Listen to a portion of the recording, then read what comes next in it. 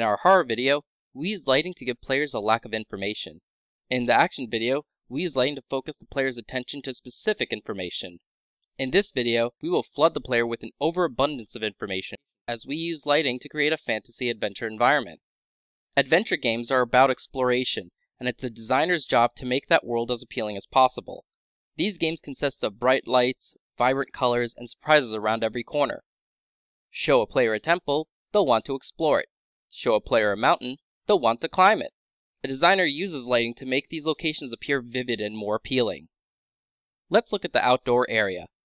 I cranked out the brightness on both the sunlight and shadows. But it takes more than bright lights to make an area look good.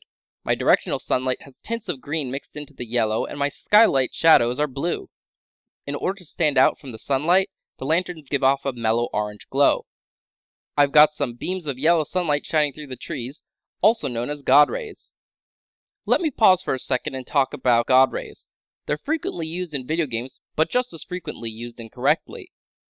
God rays are a natural phenomenon caused by light poking through gaps in clouds or trees. There are two rules you should follow when adding God rays to your maps. First rule.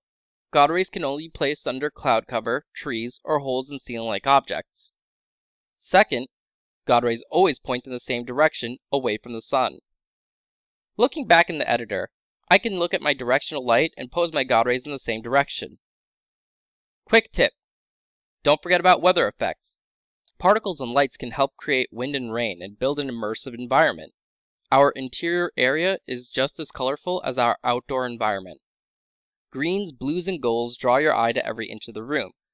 Just like in our previous map, I use vines as a way of drawing the player's eye, but rather than have our vines pop out, they blend in with the scene. They act as a landmark to help players navigate, rather than a path indicator like in the shooter example.